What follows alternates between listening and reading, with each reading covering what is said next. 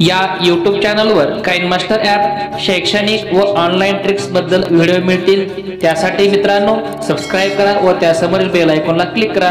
म्हणजे माझे व्हिडिओ आपल्यापर्यंत पोहोचतील. इयत्ता पहिली ते दहावीच्या मुलांसाठी भाषण व निबंध लेखन तयारी करून घेण्यासाठी हे छोटे छोटे आणि अगदी सोपे निबंध आपणास उपयुक्त ठरतील. मुलांनो निबंधाचे जे प्रकार असतात त्यातील आज आपण चरित्रात्मक निबंध हा प्रकार पाहणार आहोत. या अगोदरचे सर्व निबंध प्रकार आपण डिस्क्रिप्शनमध्ये लिंक आहे. तेथून पहा. सबस्क्राईब करा. नवीन नवीन निबंधासाठी. आजच्या व्हिडिओचा आपला विषय आहे राजमाता जिजाबाई यांच्या जयंतीनिमित्त निबंध व भाषण. पाहुयात मग.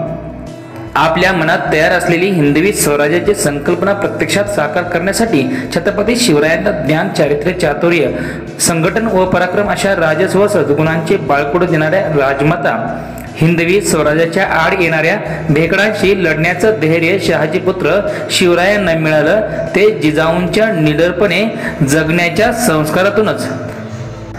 राजे सिंदखेड वतनाचे सध्याच्या बुलढाणा जिल्ह्यातील पाच हजारी मनसबदार लखोजी जाधव आणि म्हाळसाबाई यांच्या पोटी जिजाऊंचा जन्म झाला. कर्तृत्वान पित्याच्या पराक्रमाचे पवाडे पाळण्यात असल्यापासून जिजाऊंच्या कानावर येत होते. पण वयासोबत पारतंत्र्याची जाणीवही वाढत गेली आणि लाचारीच्या व पितुरीच्या रोगाचा त्या मनापासून तिरस्कार करू लागल्या. ज्या वयात बाहुल्यांचा खेळ मांडून संसाराची तालीम करण्यात मुलं दंग असतात त्या वयात जिजाऊ तलवारीची मूठ घट्ट पकडण्यात दंग होत्या. लष्करी प्रशिक्षणासाठी लोखंडजीकडे घाट करणाऱ्या जिजाऊंना शूरवीरांच्या कथा ऐकून स्फुरण चढे.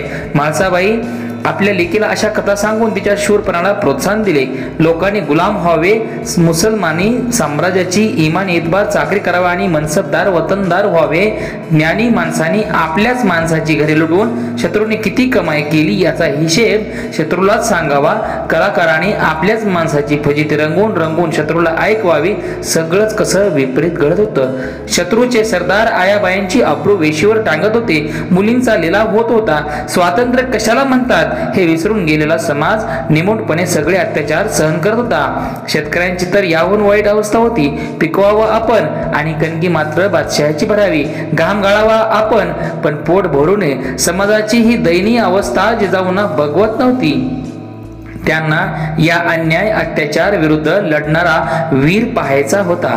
जिजाऊंचा विवाह शहाजीराजे भोसलेंशी झाला सोळाशे पाच मध्ये.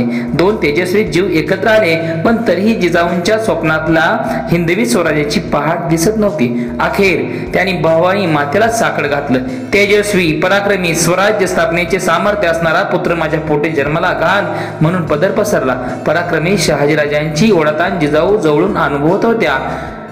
त्यांची आदिलशाही निजामशाही मुघलशाही इत्यादी शाहीमध्ये पराक्रम गाजवूनही असलेले दुय्यम स्थान जिजाऊंना जाणवत होते. ती सत्ता असली तरी ते मान सन्मान तिथे मिळत नव्हता. रयतेचं कल्याण नाही याचे जिजाऊंना भान येत होते. मुलाच्या जन्माआधी त्यांच्या जीवनाचं देह ठरवणाऱ्या किती माता या जमत असतील? देवजाने पण एका मातेने ती किमिया केली आणि शतकानुशतके स्वराज्यावर अन्याय करणाऱ्या दैत्यांचा निपात झाला.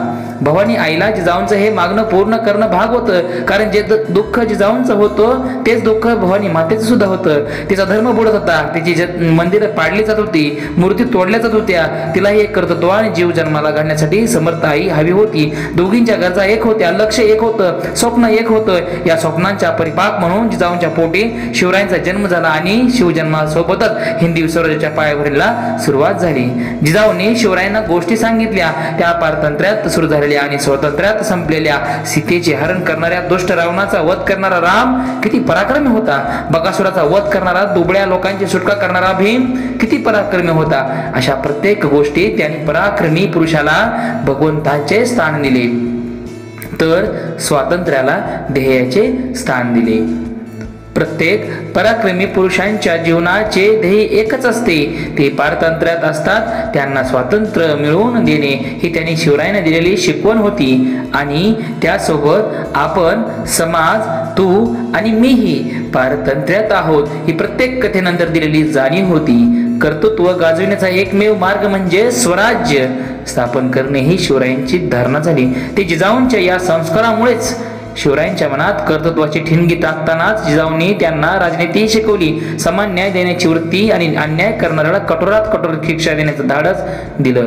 शस्त्रास्त्रांच्या प्रशिक्षण प्रशिक्षणासोबतच स्वतःवर बारकाईने लक्ष ठेवलं आणि शहाजीराजांची कैद सुटका अफजल खानाचे संकट आग्रा इथून सुटका अशा अनेक प्रसंगात शिवरायांना जिजाऊंचं मार्गदर्शन लाभलं. शिवराय मोठ्या मोहिमेवर असताना खुद्द जिजाऊ राज्यकारभारावर बारीक लक्ष ठेवत असत. मुलं आईकडून सदाचार व प्रेमाचा तर वडिलांकडून कर्तृत्वाचा वसा घेतात. पण जिजाऊ त्याला अपवाद आहेत. शहाजीराजांच्या गैरहजरती त्यांनी दोन्ही भूमिका पार पाडल्या. या संस्काराच्या जोरावरती छत्रपती शिवरायांनी हजारो वर्षाची गुलामगिरी मोडून काढली. हिंदवी स्वराज्याची स्थापना केली. पुत्राच्या कर्तृत्वावर वेळोवेळी मायाची प्रोत्साहनाची मार्गदर्शनाची फुंकर घालत त्याला राजसिंहासनावर अधिष्ठित कर झालेला बघेपर्यंत जिजाऊ लढत राहिल्या. रायगडावर शिवराज्याभिषेक झाल्यानंतर बारा दिवसांनी सतरा जून सोळाशे चौऱ्याहत्तर ला त्यांनी स्वतंत्र हिंदी स्वराज्यात शेवटचा श्वास घेतला. रायगडाच्या पायथ्याशी पाचड या ठिकाणी राजमाता जिजाबाईंची समाधी आहे. राजमाता जिजाऊ यांच्या जयंतीनिमित्त मित्रांनो सर्वांना शुभेच्छा. आणि या बारा जानेवारीला जिजाऊ निमित्त जयंतीनिमित्त आपणास हे भाषण हे निबंध स्पर्धा आपल्यास उपयुक्त ठरतील. विद्यार्थी मित्रांनो या चॅनल नवीन असेल तर सबस्क्राईब करा. या चॅनलच्या डिस्क्रिप्शनमध्ये इतरही निबंध आहेत. जिजाऊ माताबद्दल तुम्ही नक्की पहा. आपल्या विद्यार्थ्यांना आपल्या मुलांना नक्की ऐकवा. चॅनलला सबस्क्राईब करा इतरांकडे शेअर करा. धन्यवाद.